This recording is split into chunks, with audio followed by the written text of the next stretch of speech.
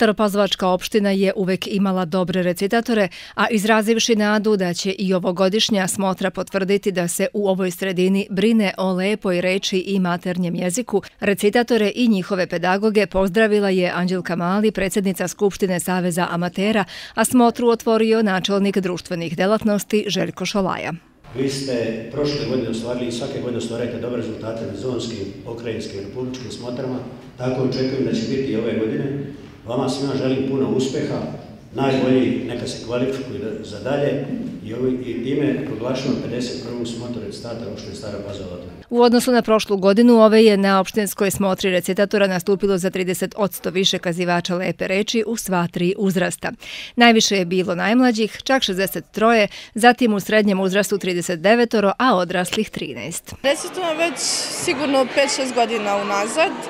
E, danas sam recitovala pesmu Desanke Maksimović, obećala si da ćeš biti večna. E, pronašla sam se u pesmi, posvetila je svojoj mami i veoma je lepa pesma i nadam se da sam je dobro iznala. Pa ovo mi je drugi put da recitujem. Ove godine pripremala, pripremala nasljednica Vidosava Ilić i recitala sam prkosnu pesmu. Zašto si odlučio da recituješ? Punjaz nasljednica mi je ponudila par pesama i ja sam izabrao tu.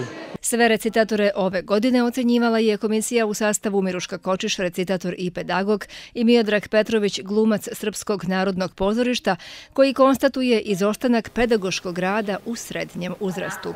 Srednja ova grupa od petog do osmog razreda, kod njih je bilo najteže. Tu se vidi nerad.